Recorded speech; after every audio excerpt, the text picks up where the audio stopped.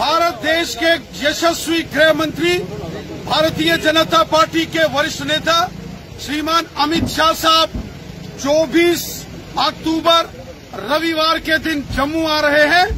श्री अमित शाह साहब के जम्मू आगमन पर भारतीय जनता पार्टी जम्मू कश्मीर ने एक भव्य रैली का आयोजन किया है, जो भगवती नगर जेडीए ग्राउंड में सुबह साढ़े ग्यारह बजे ये रैली वहाँ शुरू होगी। श्री अमित शाह साहब ने जम्मू कश्मीर के संदर्भ में जो माननीय प्रधानमंत्री नरेंद्र मोदी साहब ने ऐतिहासिक निर्णय लिए थे उन निर्णय में बहुत बड़ी भागीदारी और भूमिका श्रीमान अमित शाह साहब की थी। इसलिए 24 अक्टूबर रविवार के दिन जम्मू के भगवती नगर ग्राउंड में लाखों की तादाद में यहाँ जनमानस श्रीमान अमित शाह साहब का वेलकम करेंगे। ऊपर वाले ने इंसान को बनाया। हम रिश्ते बनाएँगे एक दूसरे से। गोल्डी मसाले जहाँ भी जाए रिश्ते बनाए। गोल्डी मसाले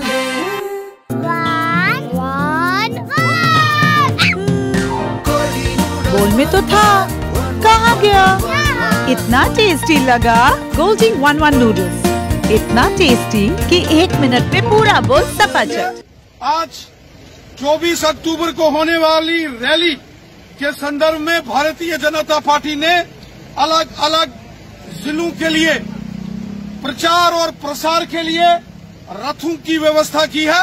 ये रथ सभी जम्मू संभाग के गाँव गाँव में शहर शहर वार्ड वार्ड में जाएँगे, वहाँ भारतीय जनता पार्टी के कार्यकर्ता जनता को इस रैली के लिए प्रचार और प्रसार में इन रथों का इस्तेमाल होगा। यहाँ से पब्लिक एड्रेस सिस्टम के माध्यम से जनता को जनमानस को जो है आह्वान किया जाएगा कि 24 अक्टूबर रविवार की रैली जो सुबह साढ़े ग्यारह बजे भगवती नगर ग्राउंड में होगी, जिसमें अमित शाह साहब आ रहे हैं, उस रैली के लिए इन रथों को आज हम यहाँ से अलग अलग जिलों के लिए रवाना कर रहे हैं ताकि हर गाँव, हर क्षेत्र में अधिक से अधिक प्रचार हो और बढ़ चढ़कर जनता इस रैली में भाग ले।